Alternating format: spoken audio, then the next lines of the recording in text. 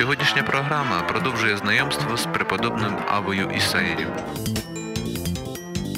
Ава Ісая вчить, якщо хто буде ганьбити тебе, не переч йому, доки не замовчить. Потім, якщо спитавши себе, знайдеш собі те, що чув від нього, покайся, що ти грішив, і благодать Божа прийме вас знову.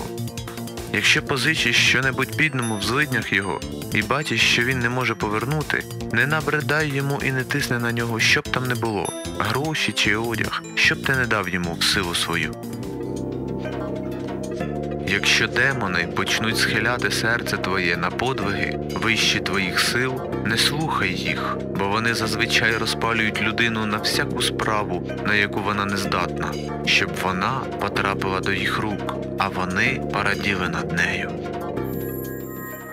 Якщо ти юний і не підкорив ще тіло, то чуючи про високу доброчесність отців і прагнучи до неї, не мрій досягти її, віддаючись спокою.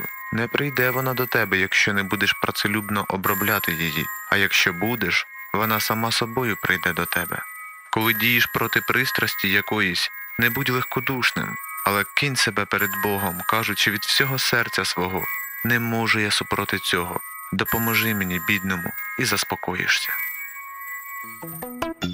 Якщо бажаєш що взяти, маючи в цьому потребу, не нарікай на брата свого, кажучи у собі, чому не здогадався він дати мені те сам від себе, але скажи йому відважно у простоті: створи любов, дай мені ось те, бо маю в цьому потребу.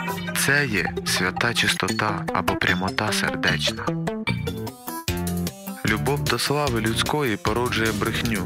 Простота і ставлення себе ні в що очищає серце від лукавства. Хто лукаво ходить з братом своїм, того не мене журба сердешна. Хто каже одне, а в серці своєму має інше в лукавстві, все служіння і молитви такого даремні.